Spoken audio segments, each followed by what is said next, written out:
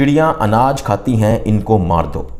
माओजे तंग के इस हुक्म पर पूरे चीन से चिड़ियाँ तो ख़त्म कर दी गईं, लेकिन कुदरत का करना ये हुआ कि ऐसा कहत पड़ा कि अनाज ना मिलने पर करोड़ों चीनी मारे गए।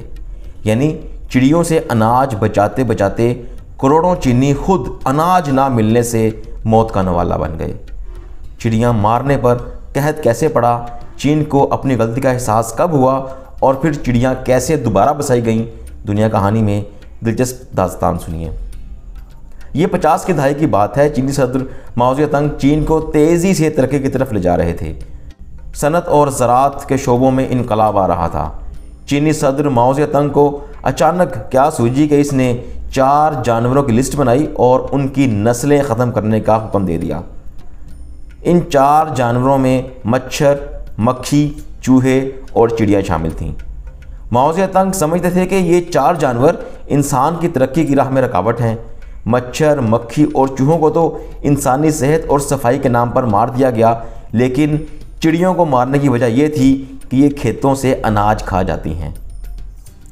चीनी हुकूमत का ये अमल बहुत ही भयानक था, जिसका खमियाजा चीन को सन उन्नीस सौ अठावन से लेकर उन्नीस सौ बासठ के दरमियान भुगतना पड़ा, जब चार करोड़ के करीब चीनी कहत पड़ने की वजह से ज़मीन की खुराक बन गई। इन चार सालों में चीन किसी जहन्नुम से कम नहीं था।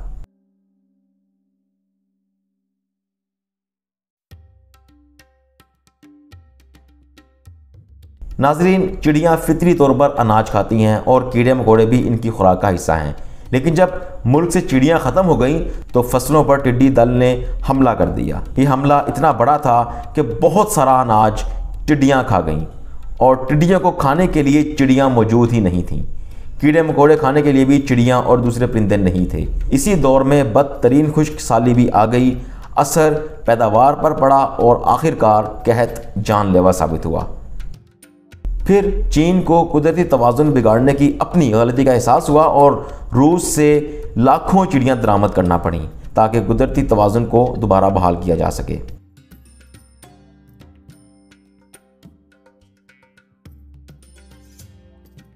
चीन के लोग चिड़ियों को बहुत ही खौफनाक तरीके से मारते थे। इनको गोलियाँ मारी जाती, घोंसले तोड़े जाते, अंडे तोड़े जाते। जहाँ चिड़ियाँ बैठती, वहाँ शोर मचाया जाता। चिड़ियाँ उड़ जाती, अगले ठिकाने पर जाती, वहाँ भी शोर मचाकर इनको थकाया जाता। आखिरकार अक्सर चिड़ियों की हिम्मत जवाब दे देती और वो थक कर उड़ते उड़ते ही मर जाती। मरने वाले परिंदे इतने ज़्यादा थे कि लोग इन परिंदों की लाशों को बेलचों से उठा उठा कर ज़मीन में दफन करते थे। चीन को शायद इस बात का एहसास नहीं था कि रिस्क रुए ज़मीन पर रहने वाली तमाम मखलूक़ का हक है। कुदरत के हर काम में हमत है। फितरत में दखल अंदाजी करने का अंजाम किस कदर भयानक हो सकता है? चीन की मिसाल हम सब के सामने है।